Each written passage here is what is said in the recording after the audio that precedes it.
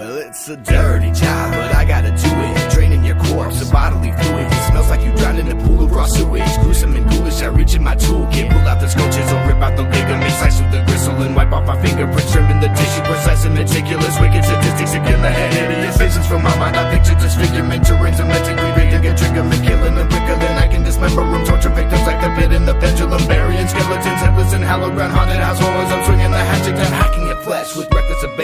in your head like Dexter's anthem. Man, how am I gonna keep up with that shit? I'm kind of faded right now. We slice him and dice him and bag him and tag him and drag him to underground, which is a birth. You reap what you sow and deserve the worst. A curse, no mercy from my thirst. No need to rehearse. I'm burst, mastering murderous methods to fracture your head with a hatchet. It goes and it drops in a basket. I'm off to Manhattan. Was anyone asking about me? I grab a crowbar from the alley and finger paint blood on the wall in the tally. Jump on the bus, two days in the valley and hide out like Michael Corleone. But this ain't Rome, baby.